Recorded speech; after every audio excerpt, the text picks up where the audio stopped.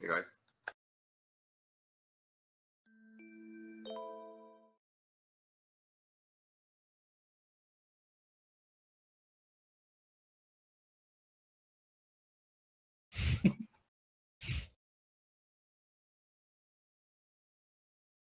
Hey, McLeod. What's up?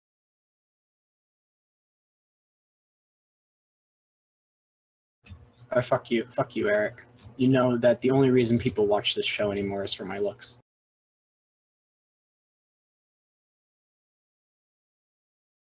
Fuck you, Daddy, betraying me.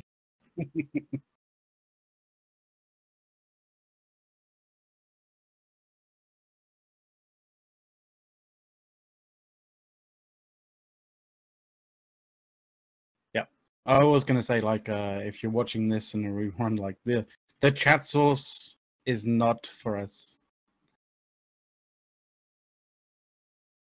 Well, today's episode is supposed to be a follow up on some of the stuff we did with uh, right? When we were uh, discussing the, the, the general uh, thing about MMOs. And what actually got me to invite uh, Nerdslayer on the show today is the fact that I was doing a lot of research for that stuff when we were discussing MMOs in general. And that's how I actually stumbled upon all of his uh, amazing uh, Death of a Game videos, where he's basically going into the research of how a game actually came out and how it evolved and how it eventually cheated off and died. Um, and a lot of the, the content is pretty much on the topic of MMOs in general. And then when he recently just launched this amazing uh, trolley uh, video about EVE Online, I thought that we pretty much have to get him on to actually uh, share this whole thing with uh, with you guys and with the audience, so he can get even more uh, trolled by uh, EVE players.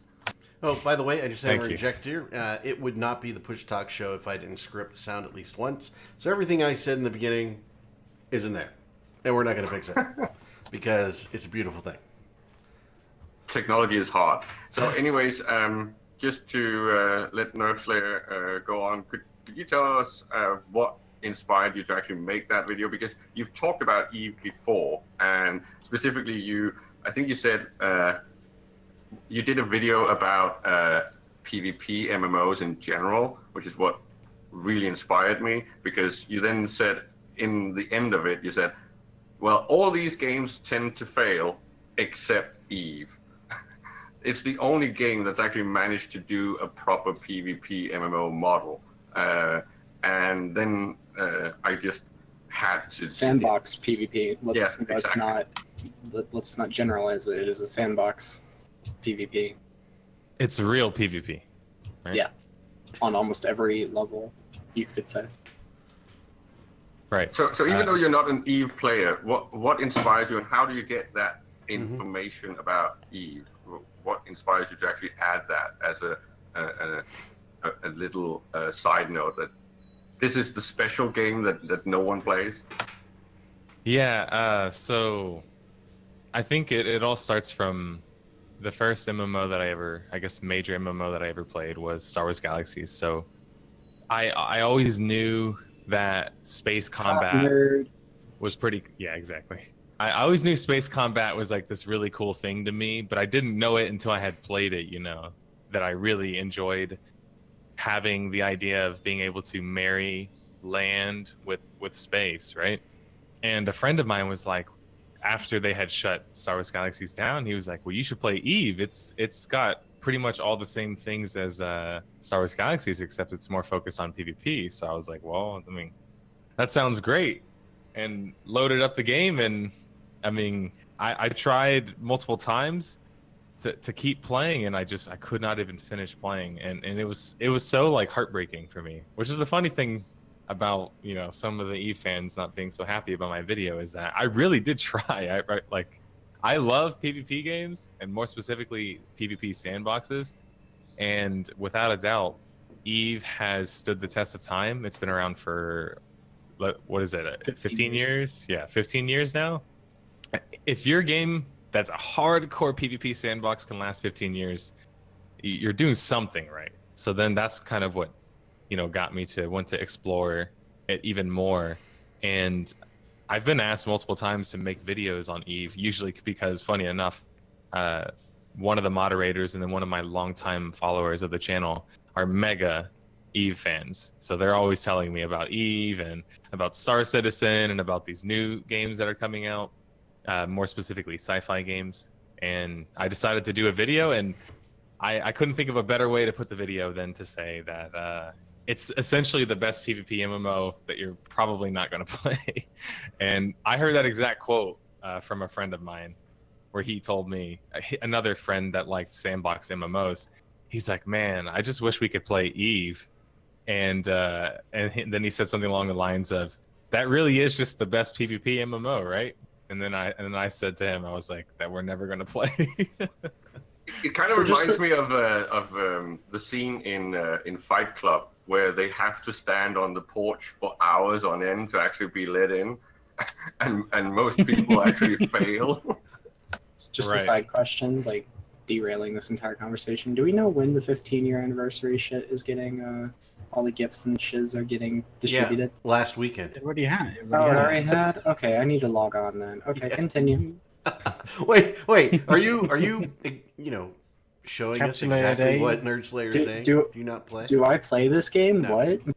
No, uh, well, let's put it this way: it, it certainly is a game that you don't have to log in to play if you're playing it at a certain level, right? I mean, Mm, does, it's does very true. Mittens actually that's a, that's to a meta in? answer to my question, I guess, Yeah. right? Yeah, it's one of those weird games where you can play and not actually be subscribed to the game, and it's really fucking weird. One, one of the jokes in every corporation I've been in, is as soon as you become a director of a corporation in Eve, that's when you go AFK from the game. As soon as you become a corporate director, anything that requires you to log on, you essentially lose the game. There's a reason why there is a saying the only way to win Eve is to just not log on. Yeah. So I think when they first developed the game, right, if you trained every skill every day, every minute you possibly can, I think the total duration to completely cha- train a character was 15 years, if memory recalls. Anybody remember that? That sounds Yeah. about right. If you started with the uh, skill training skills. Right.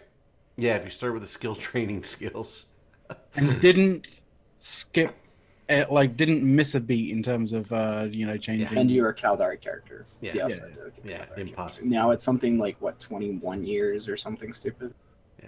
The skill tree that you uh, skill tree that you put up, Nerd Slayer, was hilarious. I'm sitting there going, "That's insane." But yeah, that's what we go through.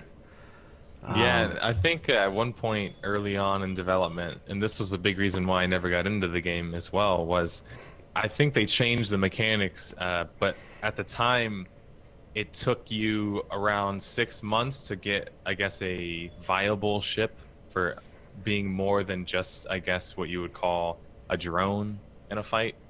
Does anyone Tackle. remember? Fast tackle. 30, Yeah, right. 30, 35 to 40 days to become fast tackle, right? Okay. But way back then, it was extremely novel to have a game that was not experience based, where you couldn't grind, where you had to actually passively train Right. skill. So Yeah. everyone was pretty much on the same page. You couldn't like face roll and do no lifer stuff, right? So that You whole- couldn't catch up if you had time placed in. You were pretty much guaranteed, at least to some degree, some more experience over another person Yeah. in terms of skills. But yeah, It- yeah, it- there was a the benefit from being in early, right? So all the things about early access and uh, uh, special uh, uh, hashtag Eve Online is founder win. stuff.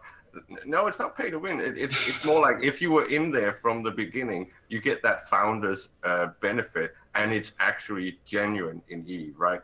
That that really mattered in the day. Uh, it, it of course got totally screwed with the skill uh, skill point uh, farming. Yeah. But before that, if you had a ten-year-old character, it was superior. Of course, generalizing uh, into all skills, so you become this jack of all trades. It's not really a benefit because you can't do everything in Eve. It's just a small benefit uh, and advantage on everyone else.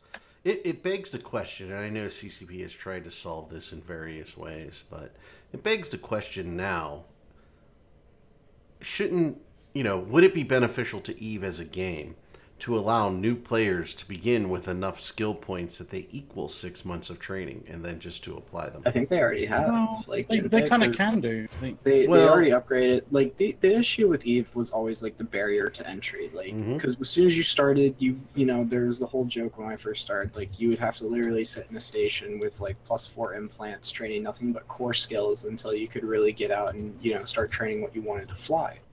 Um, I think the barrier to entry to any degree has been lowered significantly. One with alpha clones, with alpha states, and then two with uh, the, the, the, the skill injectors.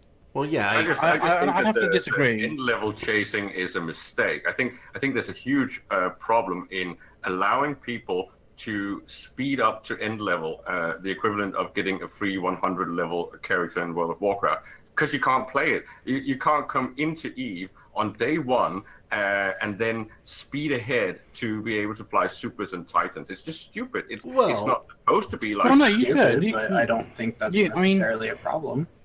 it's I not a think it, problem. it, it, it destroys one of the unique aspects that you had to take your time to get into the game and and Yeah. progress uh, gradually. but you're not in a Yeah, super because they- titan in guys, six guys, months, 'cause right? There, there, there is this underlying. There's this kind of like from the from outsiders, from certain people like inside the game. There is this kind of feeling that like you know SP is everything, right? But we've constantly seen that people who don't actually under, understand the game fundamentally or understand how to utilize certain mechanics, you know, that they're going to be using with the ships that they're going to be flying, end up, you know, end up lose, you know, end up having Yeah. that ship taken away from them very fucking quickly. It's just like You know, buying SP uh, your, is not- position in SP the is Super not the League, be all right? and end You all. can't fucking play with these people. So so you're just buying a position on the field, running around being an idiot with people that actually mm-hmm. know how to play the I game. would I would like to point out that Karma Fleet newbies who are like three months in and already have a Nyx are already better than a lot of the people that I fly with, as far as you know, at least being safe. Yeah. they're being really boring because they're only being safe and they're not like you know dropping their titans on literally everything. Uh, come join AMOC if you want to do that.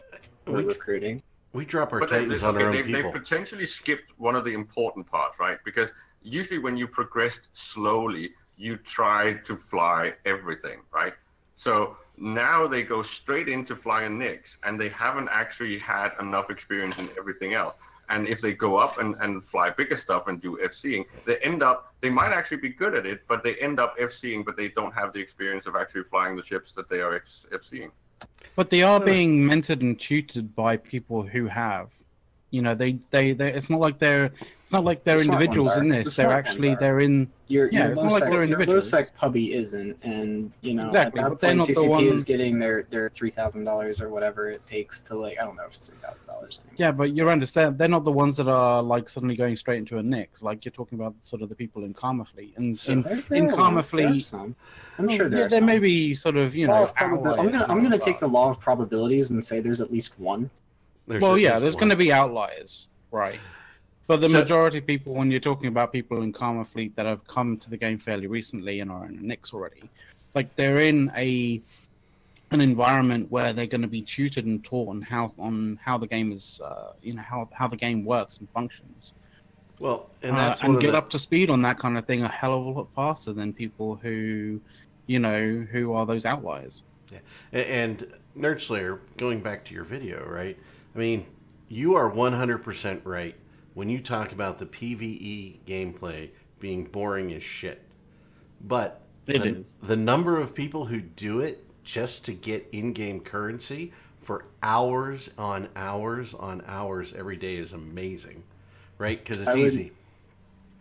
But, I mean, going back to, to your video, I mean, did you do any um, kind of group oriented stuff? I mean, you said you knew people in the game. Did they like help you, or did they Hold just kind of Eric. leave I would you like to actually ask Nerd Slayer like a follow up question to that. With Okay, Eve but- PvP being so slow, s- like having to jump around systems, where do you find, in your opinion, the the the excitement of Eve PvP to be?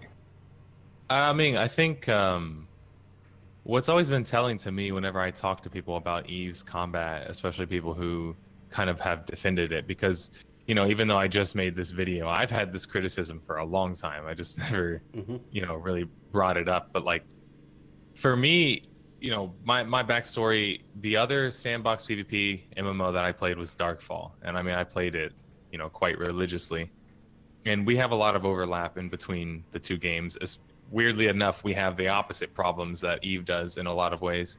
Uh, but in regards to how I enjoy the PvP in Eve, or understand the enjoyment of it, it all comes around or it's all predicated around everything else except the actual combat itself, which is very different from Darkfall because Darkfall for me was always, and, and most people who've played it can attest to this. The fun in the game, yeah, it's the adrenaline. It's the you can lose your stuff because in that game it's full loot, so you're losing everything if you die. Uh, you're not gonna get, get sit in a pod or just lose your money, right, and have to buy a new ship or well, I guess most people in Eve have multiple ships, but you get what I mean. That's like the time sink. You could actually lose all of your stuff, but the combat itself was also really rewarding to where even after your blood was pumping from surviving a 1v1 or whatever else, you know, some big battle, you were also like, well, the combat was also fun. And with Eve, it's like, although it has the same you know adrenaline rush. This uh, has way more politics for example which is one thing it has over probably any other game which is why i reason why- at least a reason why i think it's so successful is because of all the systems that are around uh, the combat. But then i just can't say the same thing about eve that when i've had a fun interaction or for example someone linked i think it was uh, you uh, caleb that linked the um, no somebody else did the rooks and kings series on youtube? Yeah, I think that's you. right where it, it it's very voiced and they speed it up and they make it Clarion very call. yeah they, they they make it very exciting to watch. And that's the type of stuff that i watch in eve and i get really into it because when i'm looking at it from an outside perspective in it's like look at all these stakes. Like i recognize when there's stakes on the line and i really appreciate that. But then if you put me in the actual you know pilot seat so to say uh, then i'm probably going to be more frustrated than anything It feels like a lot of uh, players in modern gaming want the experience of drama, but they don't have the stomach for how long it actually takes to build stuff like that up, right? Uh, just to, to, to compare to when, when you're watching uh, documentaries about World War One or World War Two, right? Mm, It feels as if oh, all these things happen, and it's almost like playing uh, Civilization or an RTS. But in real life, it took fucking days and months and years to to to have these battles and and and positions geopolitically, right? And if you mm. want that in a game, it has to do the same things. Maybe not that slow, but you can't speed it up to a civilization game because then no one can actually keep up because everyone needs to be involved. Are players not necessarily wanting the time gap, or are they not necessarily comfortable with the consequences that can come with those dramas? I think it's more so the the the time investment. Again, I, uh, Darkfall Mhm. has a lot of similarities to Eve, and one of the big similarities, and this was actually told to me by Eve fans, was that uh, in Eve you never really see solo PvP as like a big feature of the game, and that's because it's like you could put all this time into preparing or looking for a fight, right, and get jumped by five or six people, and that's not really fun, right? Or or you just keep looking and you never really come across that fight in the same way. And and Darkfall had the exact same issue where it was like sometimes you don't want the big political fights, right? Because those, as you said, take a long time to happen.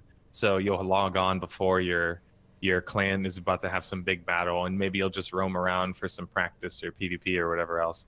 And then that's the stuff that I think really turns a lot of people off, especially people who might not be uh, ready to put in all the time to have those big guild engagements. Is like they just want to go do something and have the rush of adrenaline and skill now. And you know, Darkfall could never solve that problem because the map was too big. So essentially, they were after the population died, the map was far too big for you to have those organic interactions with people. But you get that. That's a that's that kind of thing is a um. it- It's it's kind of like a it's something that happens with all sandbox like proper sandbox MMOs. Like it's a, a proper sandbox MMO is a massive time sink for Right. people. Well, Um, and I, and I see that with other like uh, MMOs, like proper sandbox MMOs that um, I think you've played a few times as well. Like uh, for example, Rust. Like Right. Rust is a Rust is a serious time sink as well, and it's it's because it's. I would say it's very close to being a, a you know a sandbox MMO. I'm sorry, if you're not playing Rust with like heavily modded, you're not you're not doing Rust right. With your own like heavily modded server. Heavily modded server like one thousand times. And folks who watch the show will not find this comment from me unusual, right? Where I think Eve fails is explaining where to find these things. So everything that we've kind of gone over exists in Eve, right? Um, the uh, the solo PvP's there, the the um, the PVE's there, but it's boring in certain cases, right? So if you take PvP PVE out there into uh, more risky areas like wormhole space or something like that, where you have to do PVE as a group, um, and you might lose. I've lost probably three or four carriers uh, in my lifetime over uh, doing large scale PVE in wormholes, as well as roaming, right, with a small group of guys, five to ten guys. Um, you know, it's just like getting together, you know, to go do something. So Eve fails by showing players and getting players into these things. Eve fails by saying, if you want to find this stuff, oh, go find it on your own. There's no roadmap. That's I where it Isn't is. that, isn't that the Uh, point of an uh, uh, of an uh, of a sandbox game that you shouldn't have any hand holding? Uh, but here's the thing, Yeah. right? Yeah, but the thing is, as as Nerd Slayer has kind of pointed out in his other videos, like the the hand holding like ends up being put onto static websites on online, and you can find it, you know, by a very quick Google search, and it ends up being almost pointless. Like Yeah, you but need the PVE kind of aspect to be um, reactive and you know not really really you know um, linear. Just to segue a little bit, because one of the important things that Nerdslayer talked about in his uh, PvP MMO sandbox uh, video is the wolves uh, versus sheep, right?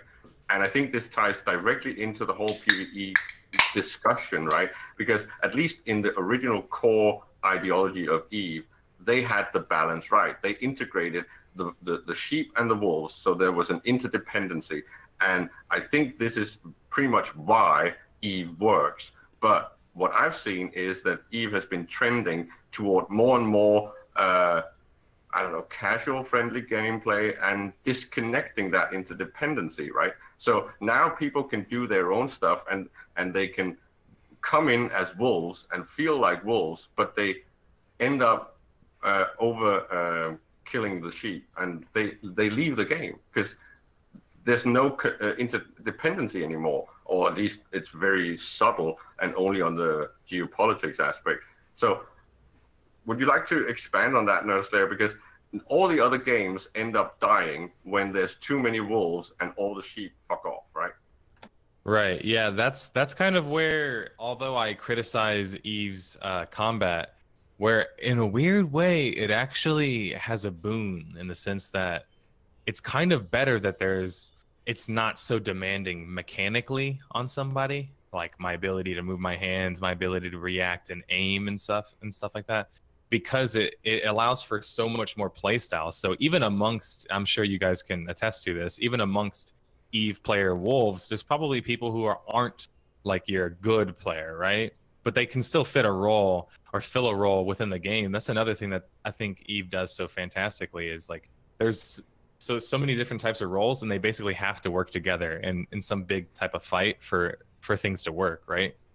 Uh, whereas you know the other games that i've mentioned before uh, pvp mmos their problem is kind of like they don't have the role for somebody who just maybe wants to support or maybe wants to uh, scout or whatever else right? That type of stuff they don't have roles for those people and then when that's expounded upon by um, the economy or the other activities in the game not being fun enough for people to not want to just PvP 24 7. Because ultimately speaking, the sheep is not that they don't want to PvP, it's just that they only want to PvP on their terms generally, right? So, like, that's Mhm. usually, I think, when they get frustrated is when they're being killed when they don't believe that they should be killed or whatever else scenario like that. But the biggest culprit, I think, in, in into the that goes into these games failing is that once a sandbox like we love sandbox MMOs, but once they lose a certain amount of population, you know, Mhm. a ratio compared to the actual size of the map, that's when they run into a lot of problems. And I'm not as familiar with Eve as some of the other games, so maybe you guys can tell me if I'm wrong here. But with Eve, you, you have a little bit more instanced type of uh, establishment, so it's not like necessarily you're flying in open space endlessly, right? You have to make a jump or something like that to another uh, instance that has to another system. Right, right. And so I think that's actually a really good thing about Eve versus just an open world game. Whereas they, you could live in this little part of the map over here, and then there's this entire other part of the map that you don't know if there's anybody there. So if you go roaming for PvP, you're not going to really find anybody.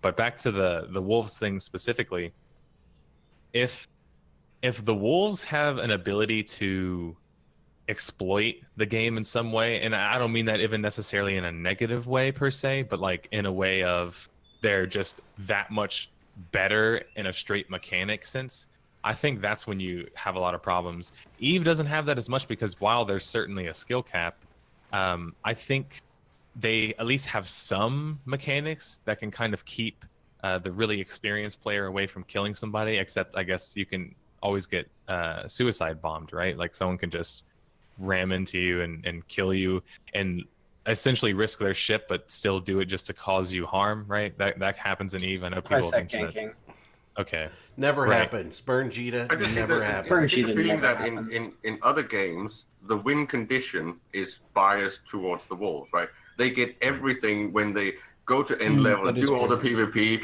and they get all the awesome gear, and they get all the money, and, and pretty much every win condition is in the hands of the wolves. Whereas in Eve, you can actually have a win condition being a Care Bear, being a sheep, right? Right, Because right. you are an industrialist. You will be richer. You'll be able to uh, pretty much. uh, My joke is that sure, there's people in in Eve that are amazing at PvP, but the ships that they fit, I can fit them forever and just keep throwing them at them, and that's because I'm making money elsewhere, right? So Right. so so these things are the, the interdependency is what makes Eve work. Whereas every other game I've played that's a sandbox PvP game, I've left because there is no win condition for people with my gameplay. Right. Yeah, and I totally agree with that. And and Darkfall had the biggest problem with that. That's why even though one of my big criticisms initially of Eve was the whole time gating system, I kind of almost feel like maybe that is necessary because when when Darkfall came out originally, it had an extraordinary grind, uh, which even if you play the game legit was hard to do. But people weren't playing it legit and they were finding ways to exploit a lot of things.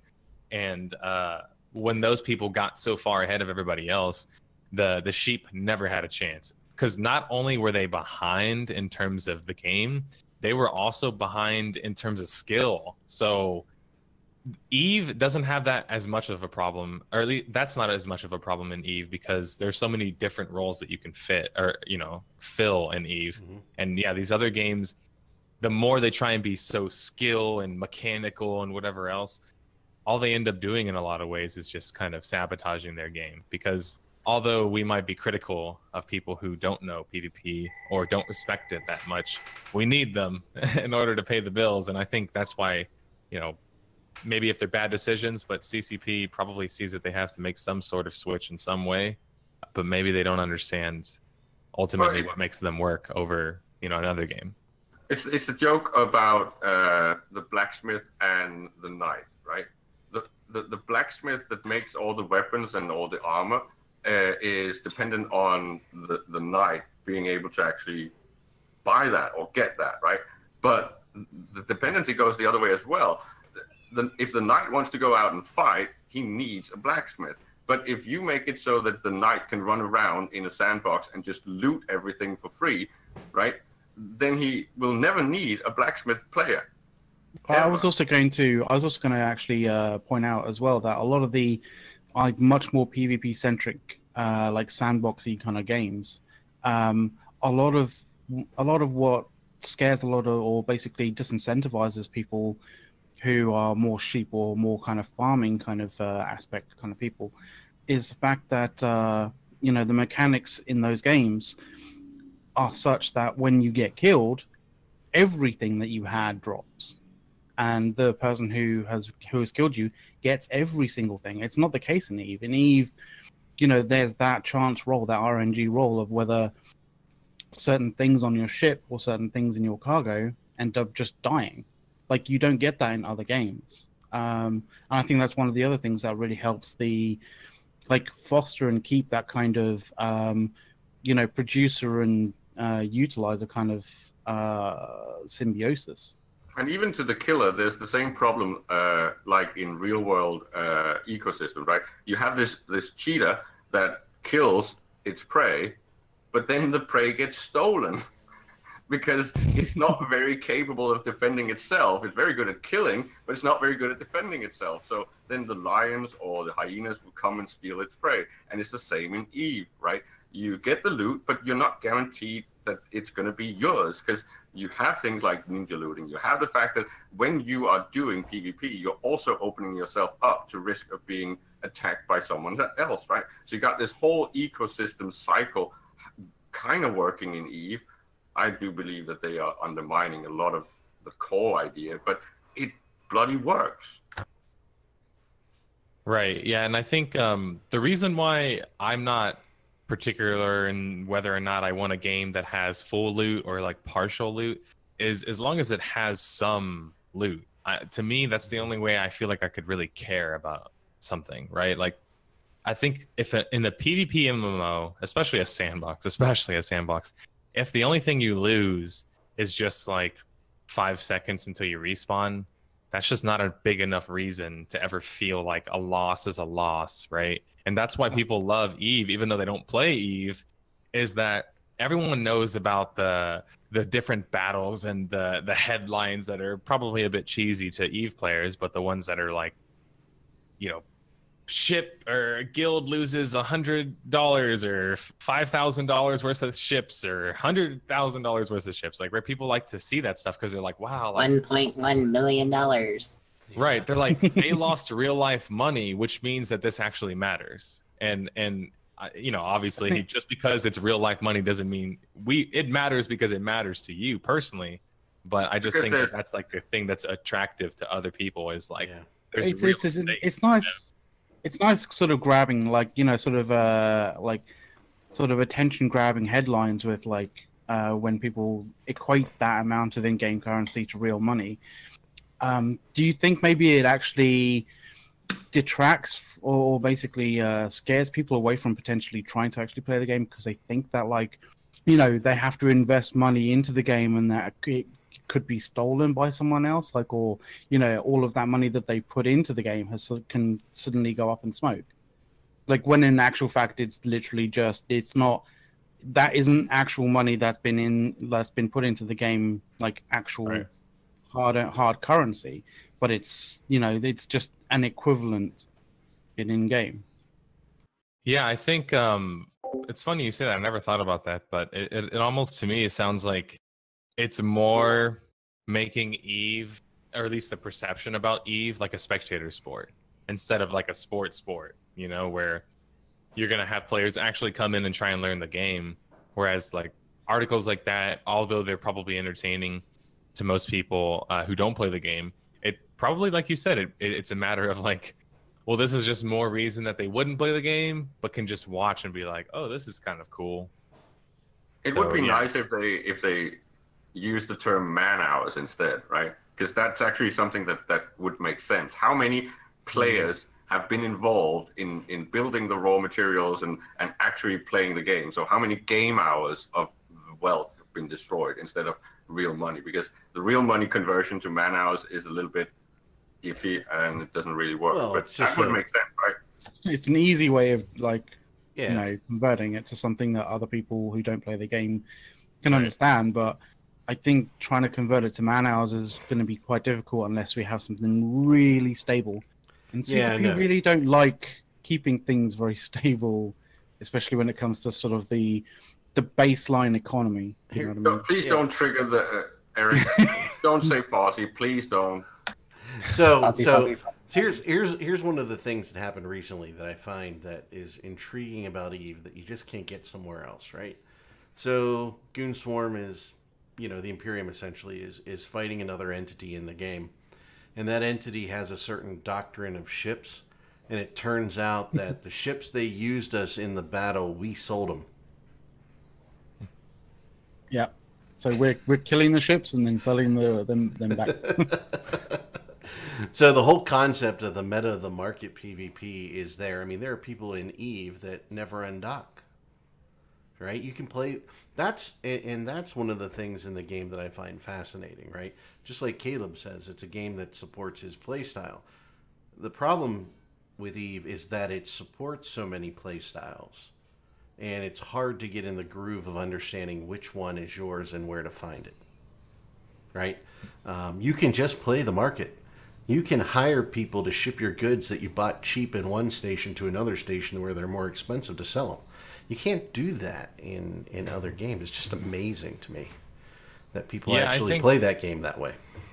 Right. I think that's why Camelot Unchained was uh, and still is very interesting to me because I think they finally realized, as you know, a developer finally realized that the key, sort of like Caleb was saying, to keep a sandbox PvP MMO going is you've got to have this like ecosystem, you know, where where one part's Mhm. feeding the other part, and I think that's like the biggest issue with PvP MMOs that I've played. Is just like there's really no reason to like Warhammer, for example. You know, everyone knows how much of a failure that game was, and I think one of the biggest reasons it was a failure, and probably a reason why I don't like PlanetSide 2 either, is that even though you lost some of your land, it didn't really matter, right? It, didn't really change the way you played the game, and I think that's sort of like Eve can make real consequences more so than just losing, you know, goods that you have because they can actually say, well, because maybe you lost this pivotal battle and now you don't have the resources you need or whatever else, you can't then go and take some other place. Whereas in a game like Warhammer, you try for one keep, you lose, you try for another keep. You know, all you're losing is time. You're not losing actually anything in the game, and there's no way that you could, for example, set up some proxy system where you're trying to, you know, zap people out of uh, hyperspace or whatever else, and create some sort of barrier from keeping people from getting away. Right? Th- those are things that you can do in like a very in-depth, like space game like Eve. Whereas in these other games, it's almost like because they're so gameplay specific, they don't have those uh, top-down strategy and diplomacy aspects that Eve does. I They think, lack uh, that sort of that 4K almost uh, and planning, if you will. Right. It's But I a bit of a think- but I think standing those- joke, uh, I'd like to, to point out uh, that Mhm. ties into the whole sci-fi and, and space exploration. If you guys might remember, way back in uh, 80s, 90s, they they tried to do these biodomes, right, where they tried to to isolate an ecosystem in a dome uh, to be able to make habitation uh, possible on planets and stuff like that. And all of them failed, right? Because there's just not enough biodiversity and and enough uh, cyclical stuff happening inside that dome to make it work. So they all failed eventually, where, whether it was too much carbon dioxide production or not enough nutrients and all of these things. And it's funny that all these game uh, developers are trying to create an ecosystem that, that makes PvP work. And the only game that's actually managed to do something remotely like a success is Eve. It's, But- it's, but I it's think- interesting to me because sorry, uh, I was I just wanted to say quickly that I almost feel like there's a bit of like some weird looking glass going on where it's like I feel like some Eve fans or players don't really look at the market as a whole in terms of other MMOs because they're just like so married to their game. But it happens the same way in terms of other games looking at. They might look at Eve and be like, "Oh, this is kind of cool," or "Oh, this," but they never actually wonder or ask the question of like, okay, why is this game working? You know, because they're kind of just like, oh, Eve is just a spreadsheet mm-hmm. simulator. You know, they're not so worried about that s- sort of stuff.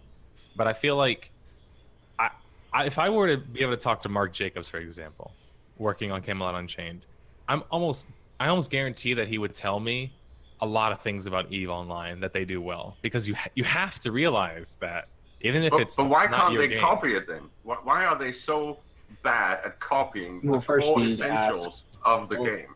I think when you try to ask that question, you have to first ask what are the core essentials that are making Eve so uh, Eve. like what, one of the things that draw uh, that drew me into the game way back uh, in like 2002 was when I logged in and I saw their market interface. Right, the fact that this market is exactly like real world stock markets and real world commodities market with buy orders and sell orders and the whole supply and demand side and price finding. I know I'm getting a little bit nerdy here, but the point is that it's it's a market that works and no one out there has copied it. No one. They all have this auction house fucking uh, one-sided seller-only market, and it doesn't work. You need to have both sides to have a speculative, long-term price-finding market, and no one has copied it. I don't understand why. Well, you know that uh, Galaxies learned the hard way with that. Star Wars Galaxies used to have probably one of the best economies and crafting systems, you know, ever. But they made such a key change that just completely unraveled their crafting system. And, and what it was is they essentially uh, rendered vendors useless because they created a galactic uh, auction house. And so you could just purchase on there, it would be mailed to you, that sort of thing, like a normal auction house, which made all of these people who created these intricate settlements with with traders and and vendors all over the place that had all these different types of goods and basically the whole experience all of that was was then essentially uh, removed. And it was just like you going to the auction house a lifeless box and then just like it pops out things when you give it money. So Tra- tragically, uh, this is similar to what has been happening in Eve over the last five, six years at least, where it's gone more and more Jita centric, right? Everything is only happening in Jita. I doubt. The economic reports uh, would like to disagree with you. Well, no, that's not what I'm talking about. I'm talking about the Delve fact that would there like used to to, be, disagree there used with to you. be off hubs, right? There used to be uh, secondary hubs and and a lot of trade going on with arbitrage and stuff like that. Uh, Amarr Each- would like to disagree with you. Yeah, but but they're not on scale. The point is, there's hardly any money in arbitrage anymore, right? It's not an, a viable Rens market. would like to disagree with you. Caleb's not used to this. Yeah, but it's just wrong. It's uh, it's not compared to to how things used to work, and then you have to talk about real value of things, and and yeah, it gets into a lot of nerdy stuff with markets. But the point is, everything goes through Jita, and everything is produced in One Delve. That's how one it would like to disagree with you. I just said that all, keep this all up all product- day. All throw products is, is, is sourced in Delve, or at least 35% of uh, the entire uh, ecosystem. Sixteen percent. I'm gonna go with Eric's number because Because he just calculated it based on fiscal year 2018, right? Yeah, but you're missing all the in, invisible stuff, the stuff that's not seen. I'm just going off CCP's Uh, numbers. Yeah, yeah, you can't see uh, all the stuff that's not uh, on market, doesn't hit market. Yeah, it's terrible.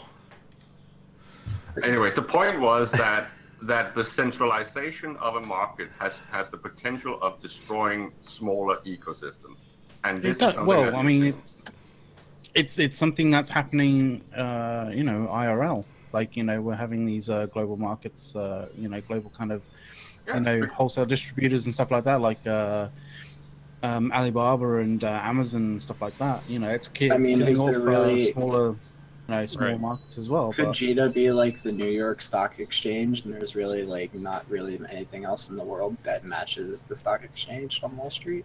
Only if it's not a retailer. If it is, if it's only bulk trading and potentially futures trading and stuff, stuff like that, then Jita would be like uh, Wall Street. But the point is that that's not possible because there is no off-hub market anymore. So without retail uh, uh, options and benefits, you don't get the benefits of uh, an exchange market. So the, the point I'm, I'm trying to make is that, that we see Eve trending towards the same thing. And, and the comparison with real life is very important because what we see in real life is an abundance economy growing up, right? We, we have abundance in real life. There's hardly any scarcity anymore. Of course, it ties into the fact that when there's peace, it's easier to source stuff, and then abundance kind of follows. But I don't want abundance economy in Eve because I want something to fight for. Well, I think Mm, like that's it, want it or not, I think an abundance economy of Eve is really coming. Except for you know, obviously the shit you need to grind for Dead Space gear, faction gear. and then you get peace. Oh. There's no world wars if you have abundance. There's no need to fight if you do, if everyone gets everything. Why would I want to fight my neighbor? That's, that's a good. Because we want to Because- fight our neighbors to make uh, them buy our shit so that we can make more money off of Uh, because their losses. because CO2 is your neighbor and fuck CO2. There you go. Yeah, personal grudges. But the point is that in, in, in real life, the big struggles are always resource based. It's always food or water or uh, uh, living space, Lebensraum. Um, but if you if you give everyone everything, why would they want to look at their neighbor? It's about relative poverty, right? If if there is no uh, poverty or if the, the the Gini coefficient is perfect, you don't need to struggle or immigrate or anything like that. It's not it's not important. I mean, we just kind of let Init go up north into Fountain and take whatever they wanted, and they seem to be doing a pretty good job at that. We like being sem- semi-independent, yeah. And, you know, we needed renters. we need renter space anyway, so You guys are still using renters? What the fuck is wrong with you? because we're not a what 12, Just walk 15,000 the fuck out strong of kind of alliance. Just work online the fuck out of it. I had a question in regards to uh, Anyway. your faction system in Eve. Mhm. So it, if I make a character right now, I can essentially join another faction, right? Like pretty quickly, Straight away.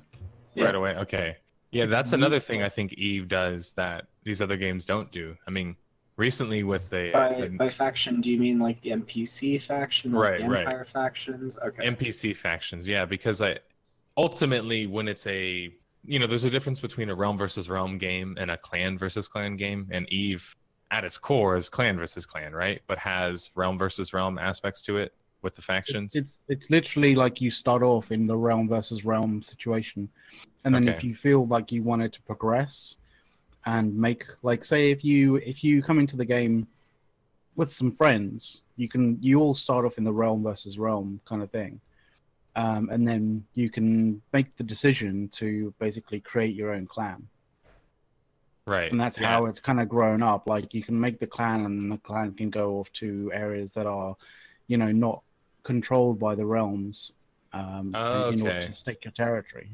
that right there i mean that in itself i feel like is not explored because as much as i love clan versus clan pvp games i think it's far easier to balance uh, realm versus realm and i think that's why i mean if you look at all the new games coming out uh, between crowfall and camelot unchained and chronicles of Elyria, like most of these games uh, want to do clan versus clan systems i think deep down but they end up doing faction versus faction systems because I think it's just far easier to balance. But again, you know, Mhm. nobody seems to look at Eve and think, well, Eve allows you to start as a faction system, but like you said, graduate to clan versus clan warfare if you, you know, so choose, and that that's like huge. I think. Yeah. So Nerd Slayer, Yeah. have you ever have you ever looked at the Sov system in Eve at all? Sorry, the the, the sovereign Yeah, the system. The, the, system. the ultimate end game for clan So- versus clan. It's sort of like territory holding, I guess. I've watched videos, things. but I guess I don't understand the So, specifics.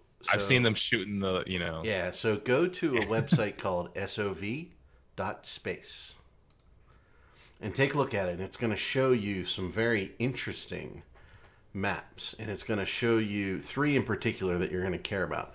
The first one is the Alliance Sov map. So you can join a corporation, which is a clan or a guild, right? But those clans or guilds can bond together in an alliance. But in the meta, for instance, Goonswarm Federation is part of the Imperium, and so is the Initiative, right? Initiative's part of the Imperium, right? Clown, and Uh, um, yeah. yeah, just like you know, and, and- I, I but think but they're a, provide a. Uh, they're a completely different alliance. So you're going to see a couple things here on Sovnet Space, right? You're going to see the alliance influence map. And the center is what we call kind of low sec and high sec, where you've probably played the game.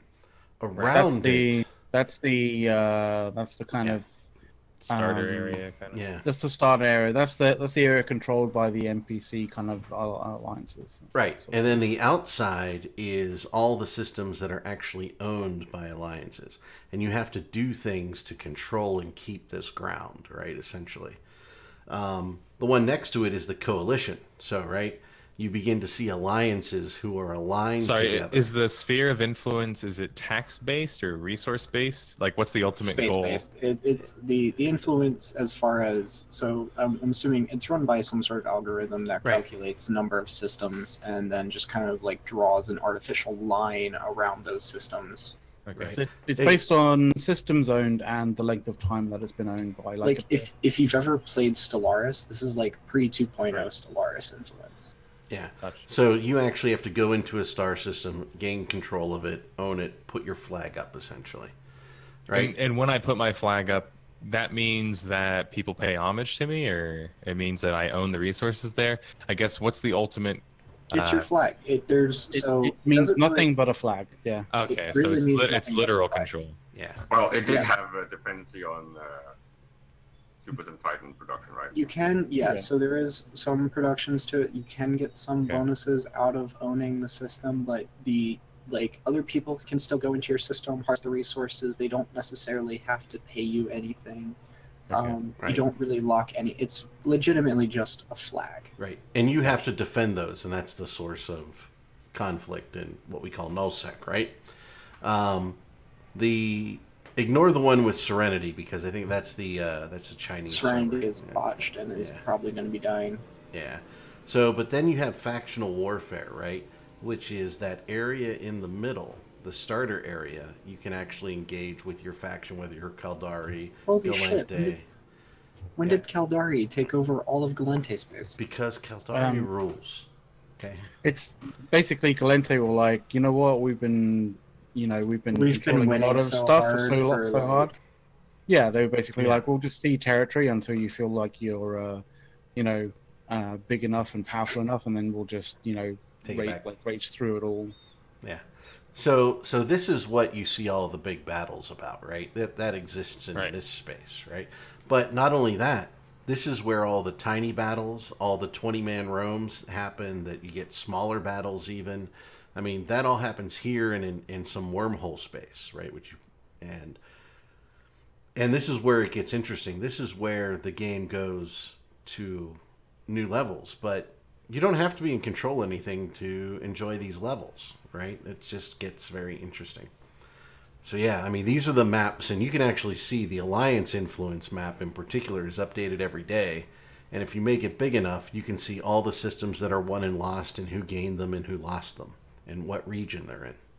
There's, um, I think there's, this ties into uh, the the core problem of Eve that in many other games, everyone wants to know everything and be able to do everything and be part of everything, right? Whereas in Eve, when you specialize, you you don't ever have to watch the meta show. You don't have to uh, listen to Eric talk about uh, macroeconomics. Uh, you don't have to take part in uh, faction warfare. You can do what you want to do, but only if you accept and acknowledge that you will never know and understand these other parts of the game.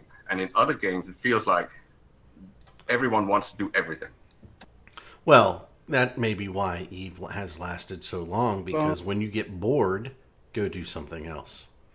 Yeah, and, and just the, the, the Yeah. standing joke about the fact that uh, is it 80 or 90 percent of the, the player base actually don't know about the CSM or don't know uh, Yeah. uh, about uh, when when Burn Jita What's is a on. It's like they keep undocking every year like fucking lemmings, and it's like. How can you not know? It's been on Reddit. It's been in the news. it's been on the shows. Caleb, I'm I'm genuinely confused. What is this uh, Burn Jita you're talking about? Never mind. Just uh, undock Yeah. your freighter uh, Yeah. sometime next year. Oh, pre- And uh, preferably- so, so, Um, so we might need to preference like what this is for nerds. Let's be honest, like hmm what what Burn Jita is, because he may actually quite. Burn quite- Jita doesn't exist. It's a myth. It's just like that. It's just Griever Squad. It, it doesn't Yeah. exist. It's a it's a completely player uh, Made up you know, propaganda basically story. made up, made up. Like basically, it's an event that players decided to do, where um, essentially people, uh, essentially groups of players, um, fit themselves into very cheap but very effectively effective killing ships, and go to high sec or go to this sort of like a very safe cheap, space. very high DPS destroyer class ships with generally close to range, high DPS weapons, and they essentially go try to gank the biggest thing that they can find. It's So the they- they Joker, find things uh, with- burning Wall Street, right? Yeah, it, it's it's basically like you know going in and sacking a uh, a, a city. Um, Yeah. So, so but knowing Jita- that you're going to die and respawn and then get back into a ship and carry on doing it constantly. Yeah, so Jita is the main trade hub. So you've got giant freighters loaded with billions of ISK worth of stuff Okay. Going in and out all day long, right? So what happens is, um, and essentially But right now, supposedly, it, supposedly, we need it. We need clear. Supposedly happens. We're not- Supposedly it's just a propaganda story. Right. So you'll have fleets of hundreds of people come in, they drop on top of these these freighters. And by the way, this is advertised for weeks in advance. And people are still flying in with all this stuff, right? And they do it for two weekends. So you'd think after the first weekend people would figure it out, but they don't. So I think what was it? It reminds me of Two- like animals in Yeah. the Sahara Desert or something at the watering hole, Yep. and, and Exactly. the cat's just sitting there It's waiting to kill them. wildebeest that go every year to the same river and crosses it and gets killed by the crocodile. It's the right? crocodile. Yeah, yeah, the crocodile. Yeah. So Except the crocodile is, you know, not really hiding. Yeah, I mean, it's not like there aren't people in the system that you can absolutely see that are going to do this, right?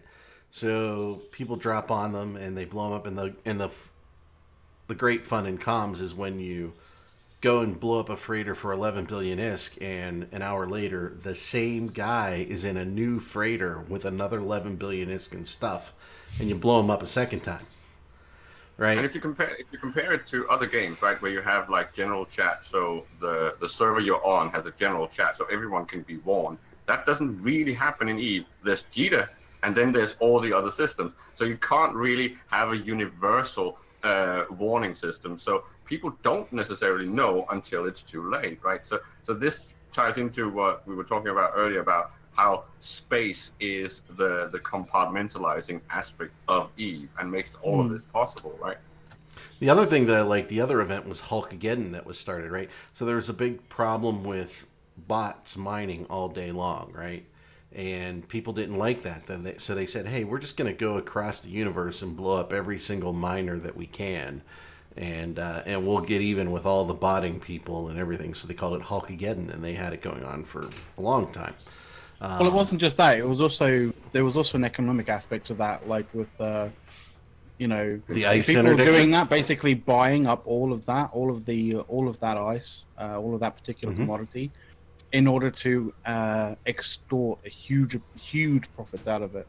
Oh, I made, I made, I wasn't even a goon, and I made huge profits out of um, the ice interdiction. So they had ice Yeah. miners, right? And they were in, and, it, and in Eve, it's it's it's okay to scale. Was that helium or was that um, oxygen topes that they were? Uh, it was cross? everything. It- I got it. I made money off everything. It was it was it was it was Gallente and, and it was Oxytopes because it was fueling all of the people's nexus and stuff. Oh, and the towers too, because they got storage Yeah. capacity bonuses. Yeah. So so you know, I mean, so everybody knows. Everybody who knew that this was happening bought all the all the product off the market. As this went on, the product kept going through the roof. So there's the whole market warfare.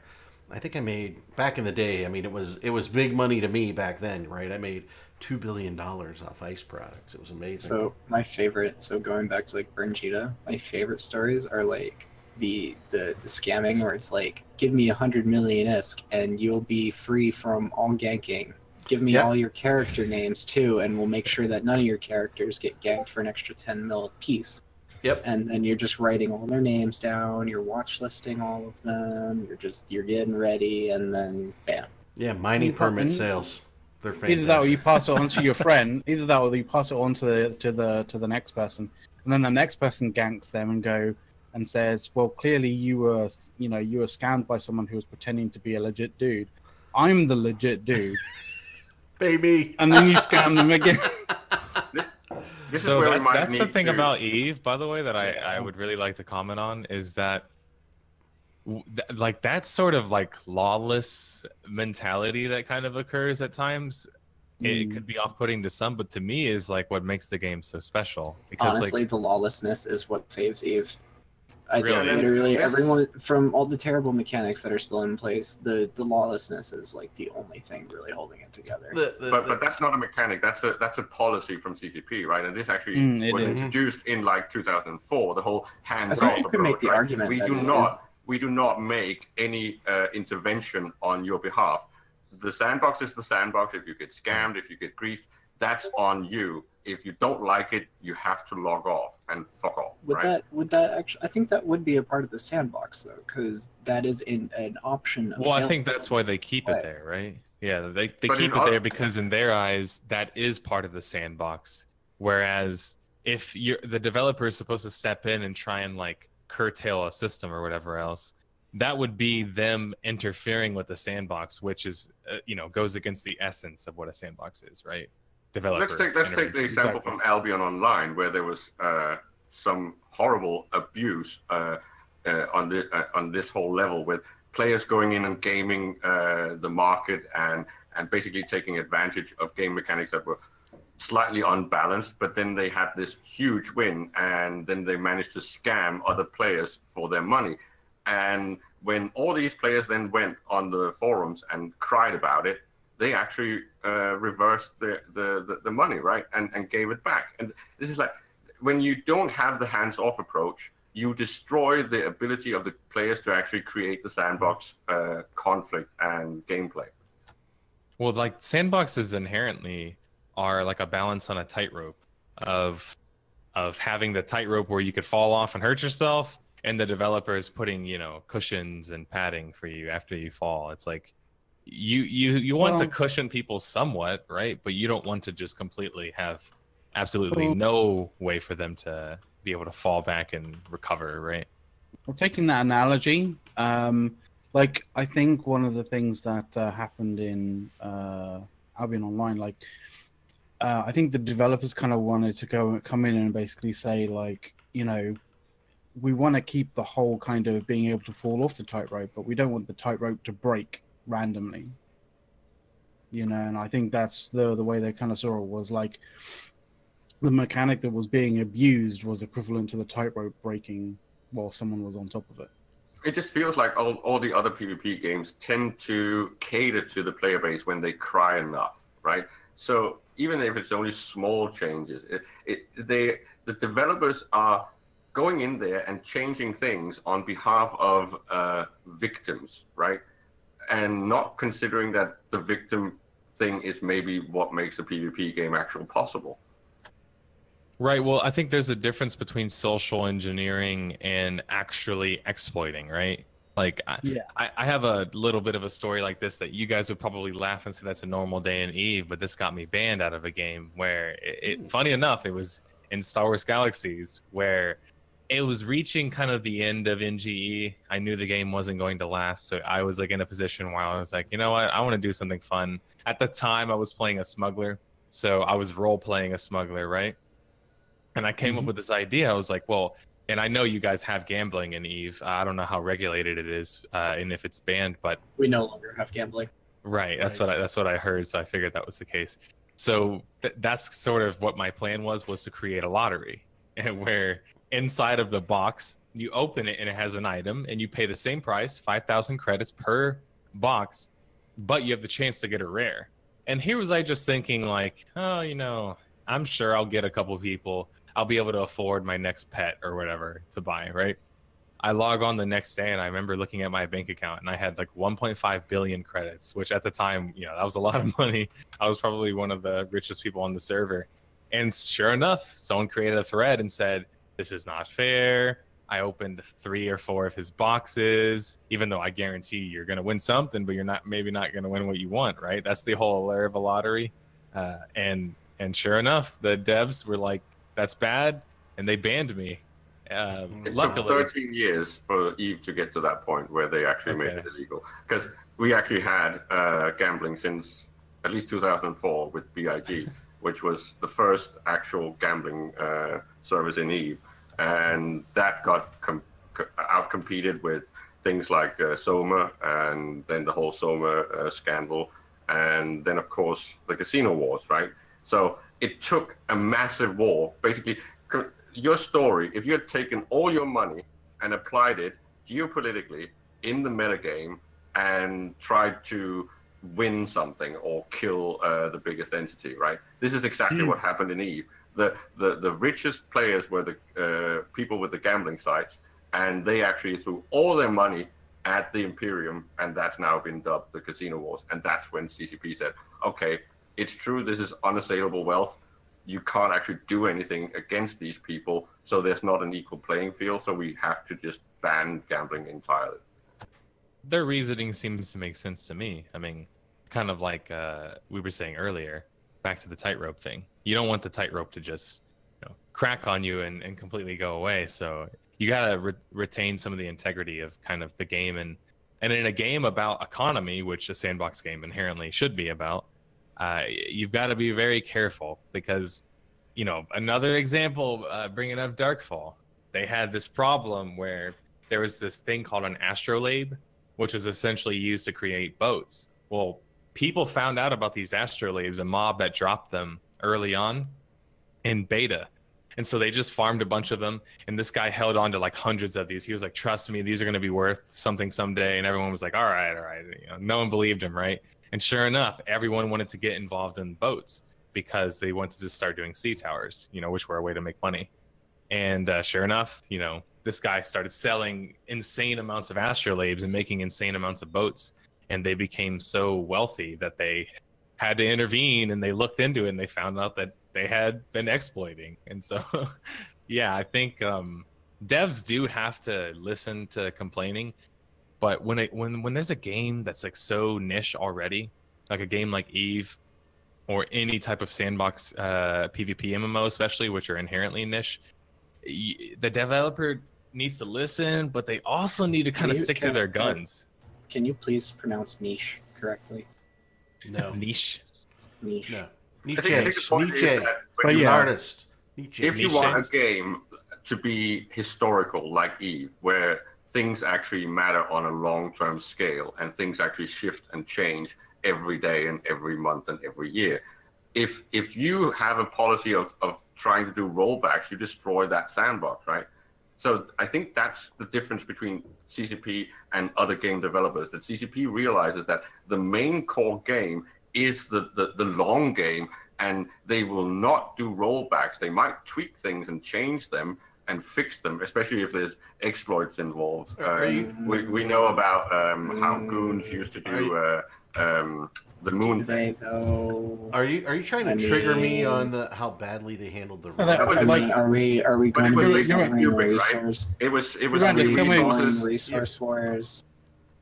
Could you let me finish? Uh, in the in the, back in the day, there was a, an exploit on POSes where you could basically infinitely farm moon goo, and it was Mhm. basically free, right? And this was considered an exploit, but you, you can't call it an exploit until CCP officially goes out and say now it's an exploit, because otherwise it's just a feature.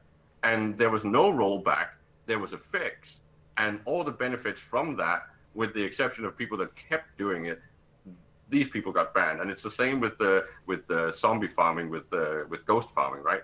Um, with Mhm. SPs uh, skill training. When CCP comes in and says this is an exploit, then you are uh, it's bannable. Before that, it's legal. Did um I would agree. talking about scamming and some of the things that go on E- in Eve. Um, Nerd Slayer, have you did you ever read the article about the uh, the the scam that became a rescue mission in Eve? Yes, yeah, I do remember this article. I don't remember the exact details. That was a while ago. I'm pretty sure. Oh, it was. It was. Well, it was about a year ago. Actually, about a year ago, year and a month ago, to be honest. Um, That's oddly specific.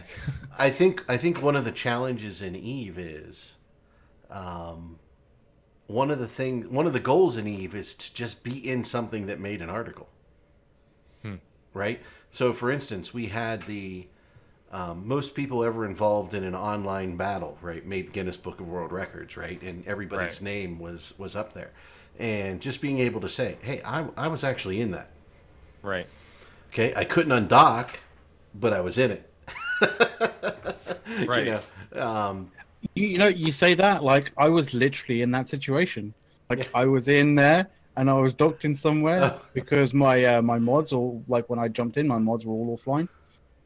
I had to dock somewhere and try Yep. and online my mods. I couldn't undock after that. but you were there. I was there. was Right? You can say I was there. yeah, I, wa- It's like I was there chilling out in the bar. It's like BR tag. It's like anything, right? But those things happen in that big donut area, right? That we were talking about on uh, on Sov.space. Um, but yeah, I mean, that's one of the weird things about Eve. Um, I don't know. I've played Eve since 2006 or 2004. I forget which one. 2006, I think. Um, and I and I have played all the other games, right? And I play them for a couple months, and then I'm bored Right. and I've taken I've taken time off from Eve. You know, I've taken three month three months off from Eve. You know, four months off from Eve, but I always kept my my uh, my players training, right? And so that I could do something good when I came back, because you always knew you were coming back, and it's it's one of the weird weird things about Eve. In fact, there are people who, Only It- three months? Well, yeah, well, In, in, invariably, you end up missing the people that you fly with, not really the game. So you end up kind of coming back absolutely. because you want to actually, you know, converse with your friends. Well, there are actually people who only will sub to Eve when there's a big war. They unsub from Eve, and then all of a sudden there's a big war. The big email goes out, or whatever communication goes out, and then all of a sudden all these subs come in and they participate in the war, and then when the war's over, they leave. It's amazing. I've never been in a game like this. This is so weird. I do I do see some of the things that you said though, Nerd Slayer. Um, particularly, um, I share your concerns about some of the staff leaving and, and how they're you know turning over staff and things like that, and the in the in the age of the game, right? I've aired those conversations on this show many times, right? Um, the Right. question is, and and I've said the same thing you said. Eve has failed at pretty much everything else they've tried to do except Eve. And the question is, was Eve the lark? and are they just lucky? Um, and if another company or CCP got smart enough on how to market or how to alter Eve in subtle ways that preserved what it was but made it greater, would it end up being a more successful game for many many years? I, I don't know the answer to that, but it's it's a great, great. I think- they're great things that you you you brought up in your video though. I mean, my, my personal idea, my personal thoughts on that are uh, a case of, you know, Eve could have gone wrong in so many different ways down the line, but it seems as though CCP have kind of either learnt or kind of, you know, in some sort of Darwinistic way, um, figured out that uh, they should do this and shouldn't do that when it comes to keeping the game alive. And, you know, it's those 15 years of you know keeping the game going keeping it running um that i think steads them in like keeps them in in good stead for you know uh the future in comparison to people who who want to try and put together a brand new game like as much as i as much as i, I love the idea of star citizen and stuff like that like there is a lot that goes into creating a biome as you know as you know with the callback to what caleb was talking about that isn't apparent on initial inspection um, in the same way that you know there is a lot that goes on inside of eve to keep eve alive that isn't apparent on your initial kind of inspection or initial investigation of what eve, what makes eve tick and i think someone said it. coming in and trying to actually make it like from a in in a fre- in, like in a fresh game like say Starcraft uh, Star uh, Citizen that if you don't you know if you if you make the wrong turn uh, in a you know violent enough way that whole game is just going to die But you pointed it out, Yeah. A little bit, right? When you mentioned Dar- Darwinian evolution, right? It's Mhm. like winning by failing, right? And it's pretty much the same with goons. They, they win by failure because they learn and but then yeah they but they learn And, and and CCP has done the same, and it's it, it's kind of maybe what other game developers and other players fail to understand that fa- failing is part of the game.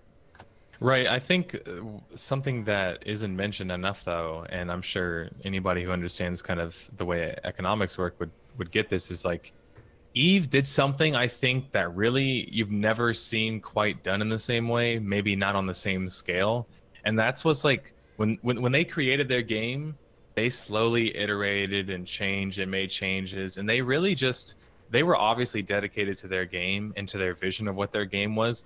And I'm sure they changed it in certain ways, but they never really wavered away from that. And I think their dedication to their idea, but also their project and their willingness to just kind of move slowly, make incremental, you know, changes and improvements, really is why, to me, it's such a fascinating game. But not not just a game, but a story. Because like, the thing about Star Citizen is, when you've got all this big money, right, and you're coming into the market and you're trying to make a uh, you know you're trying to sh- to basically shake things up right you're trying to make waves they can't afford to have an okay launch right they can't like with the amount of money behind that game they can't have an okay launch they need to have a good launch they need to have a good first year because i think that much money into something is just going to be i'm not saying it's going to fail but i'm saying it could be a spectacular failure that i don't think that they would have the luxury of being able to just fix you know what i mean like Eve mm. did. Eve started kind of small and went up. You started more very humbly. More.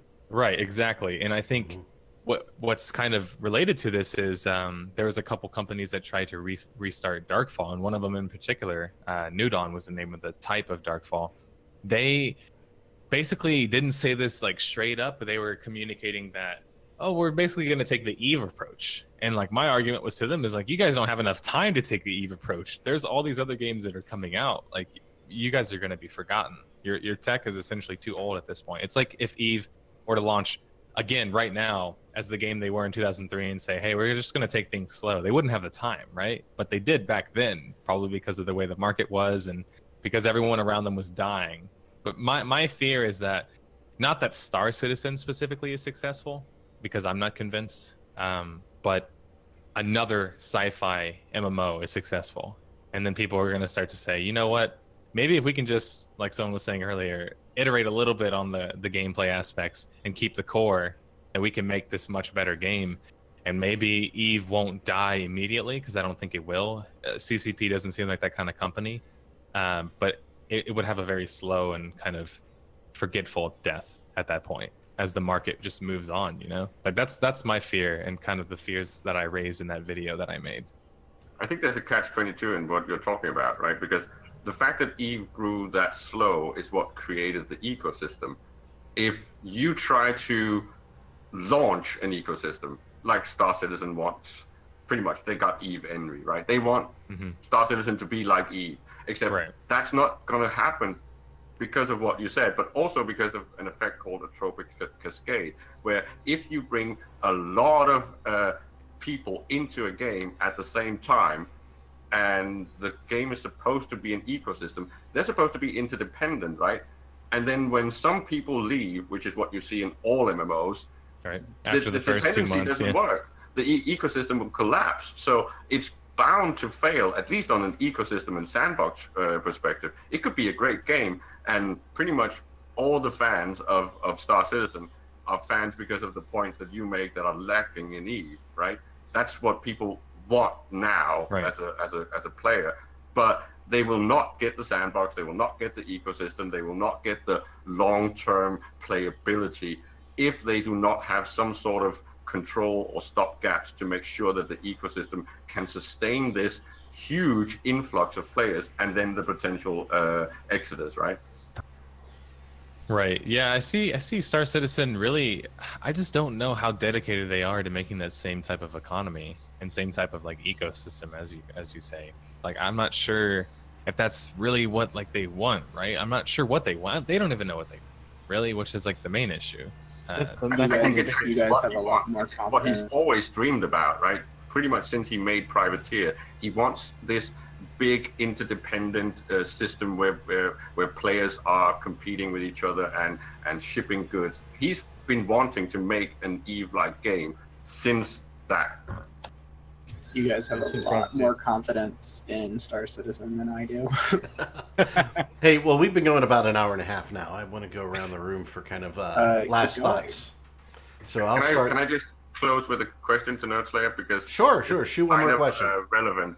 Uh, being here and learning about all these metagame things, would you consider playing it on the meta level and coming back and trying it, not to play the the one v one or the, the the actual PvP, but to take part in all the social stru- stuff and the content creation and all the metagame? I think, uh, well, first off, I'll say that a lot of the stuff that you guys uh, told me today were things that I wasn't like, I was, I didn't know, but I wasn't surprised by, like in a positive way. Just being like, of course, that game has that, right? It's like more things that the game has that other games don't have.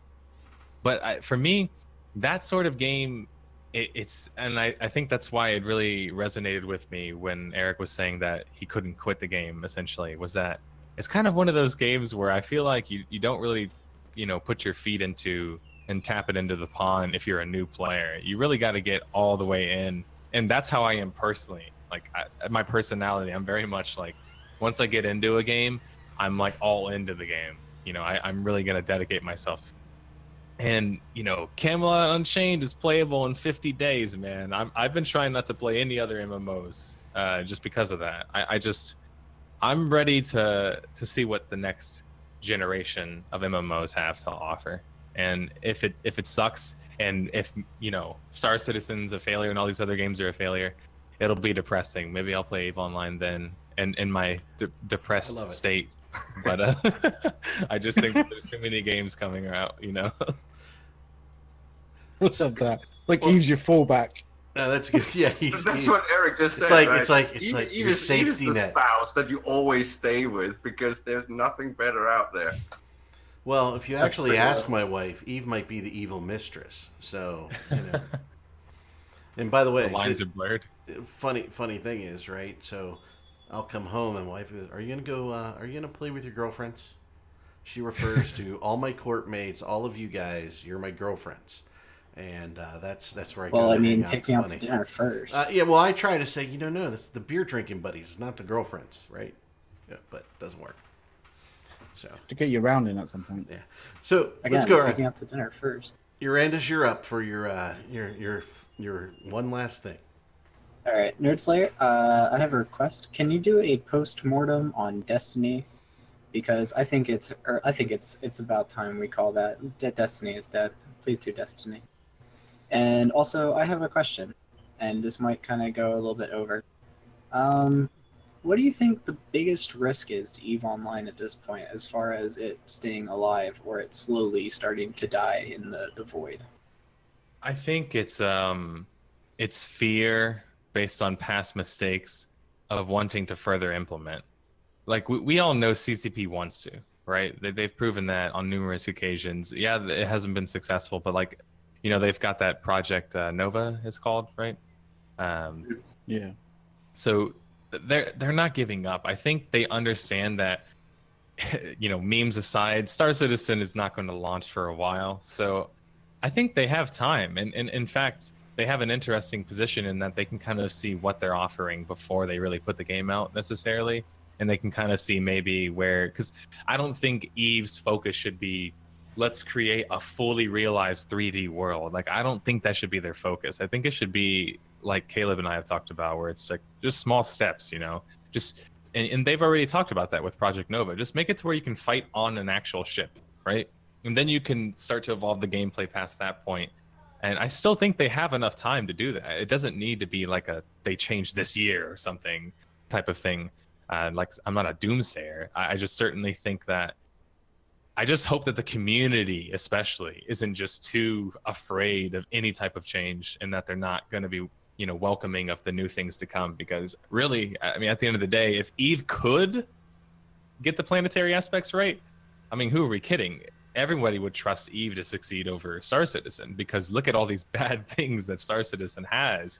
You know, feature creep, budget's too large, and all this other stuff, right? But Eve already has a core game that works. If it could just have these other aspects, then it would just, I think it would be the sci fi MMO that could continue to live on for who knows how long. Alrighty, Caleb, I'll go to you. I'd just like to say that Hilmar would say Eve forever, right? So that's that's the timeline. He likes Uh, his royalty check. I, I, I think it's fascinating uh, to have Nerd Slayer on because he is now also the official game development obituary that pretty much calls a game dead when it's dead and even takes requests. Yeah, that's yeah. It, it's Well, uh, I kind of forced my request on him. It, it- it's it's more like a yeah, it's a forced request. Well, yeah, Destiny is certainly uh, a game. I think the the hard part for me, and this is just like personal content stuff, but like it it's, It's hard to know what the right time is to do it. You know, in some cases, when's the right time to declare something dead? And if and you I ask if you ask r slash Destiny the game, it's three months ago. Right, but I, I I'm more interested in I guess you know factual aspects. So I, I need I would need to look into more of the details. I know that they had a really good launch in terms of like their sales. They sold probably I think the best that year or second best that year. Uh, but I don't know if those players are even remotely still playing the game. So that's that's think- the stuff that I would look into. I mean, I think you could probably definitely say that uh, Just Survive is dead now. Oh, and Just you saying. renders if, if your standard is when R uh, uh, RE When Reddit says so, when Reddit says something, then or any of the, the social media or forums, then Eve has been dead for 15 years. it has been. How many times has it years. died in that regard? Like, it's got more more lives than a, than a cat.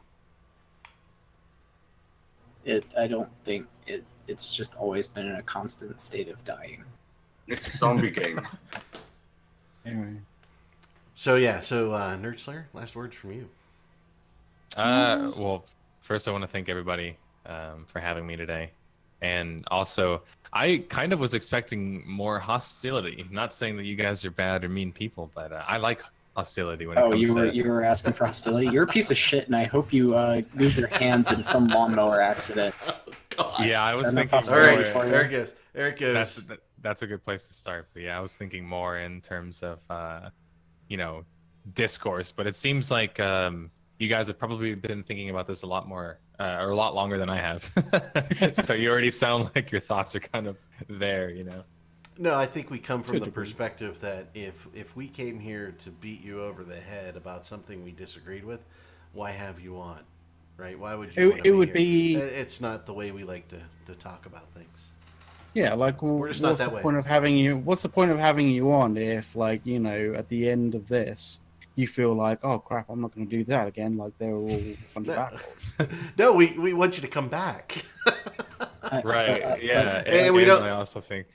Sorry. Go ahead. Go ahead. No, we don't always No. talk about Eve. We talk about other games sometimes too. So that's where blending Right. the other games in and things like that. Has Because been Eve has been a very Eve thing today.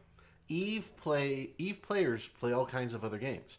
When I get bored, I mean, I'm gonna go play PlanetSide 2, you know, because I just enjoy that quick pickup, go shoot things, right? Or or a, a myriad of other games. So yeah. I've been playing Rust quite a lot recently, so you know. You cheat on Eve all the time, McLeod. Yeah, well, you know, So yeah, she's a mean mistress, but we cheat on her all the time, right? That's terrible. um, Eve's am I for going to get my steady. final? 'cause I I want to ask. go. Um, like my little final thought, my little final uh, words are going to be uh, vote Brisc for CSM. Uh, if you don't know what I'm talking about, then literally go to Google and type in Brisc for CSM. That's Brisc with a C at the end. Mm. You'll see who we're talking about. He's an absolute legend, and he's also, uh, yeah, and he, he also drinks uh, some uh, extremely nice stuff as well. Why Um, would I want to vote and- some weird sugar juice onto the CSM? because he's an absolute legend. That's why. I was trying to. and just literally literally just literally just google uh, bristol csm and you'll see how much of a legend he is yourself and the the only other thing that i wanted to uh, uh, say is actually ask Nerd Slayer something. Um considering you have played Eve not you know on and off um and it does seem as though you have played a, a fair amount of the pve kind of aspect of Eve like how many times have you saved the damsel in distress to the like what what was your tipping point where you're like I have to save her again like did have you did you play that like uh, that particular mission at all? You talking about the uh, the starter missions? Uh i the, think the it was station I- missions. Yeah, the the kind of station missions, the NPC ones. Like, did you Well, see- ever do the damsel in distress one? Yes, and and th- that stuff reminds me of uh, X-Terran Conflict. Funny enough, because like you remember you could get mi- missions from the stations in that game. Yeah, yeah, yeah. Yeah, so that's that's that's my answer. I do remember that, but starter quests of being, I don't really hold that stuff against a game, because, I mean, let's be honest. When's the last time that quests have really been written in a super great and not repetitive way? I feel like unfortunately True. they they kind of end up just evolving to that anyway, right? Funcom: The Secret World. Yeah, that's that's true. Funcom does have really good uh, ambience, right? So I'll wrap it up by saying thank you very much for uh, for coming on the show, Nerd Slayer. It's been it's been really great to have you. Um, really enjoyed your videos and your and your different perspective, especially on Eve, in your uh, in your video. So I really appreciate it. And unlike uh, McLeod, vote the Goon Party line, vote the Goon Party ticket. Just you click and follow the three step directions, and you know. I always love yeah, trolling but- people who that's- actually that's- believe that's- Mittani's pointing a gun at my head. Yeah, that's that, that's one of the interesting things, Nerd Slayer. When we vote for the CSM, people have actually mathematically figured out if you vote for these people in this order, we'll maximize our gains on the CSM. Isn't that terrible? that's actually kind of enjoyed- funny. Oh, and I forgot Delve number one. Delve's number one. Thank you. I, I love trolling people who actually believe that I have like Mittani like with a gun behind my head telling me to vote for the goon ballot. Don't- don't- it- It's not a gun. It is. It is funny. It's funny. I've never had more freedom than I have in Goonswarm, so it's great. All right, with that, I'll wrap it up and thank you everybody. And it's been a great show, and uh, we will see everybody next week. Not sure when this will uh, telecast, but it will be out there. And thank you again, Nerd Slayer. Everybody, everybody say bye. Bye. Bye-bye. Thank you. And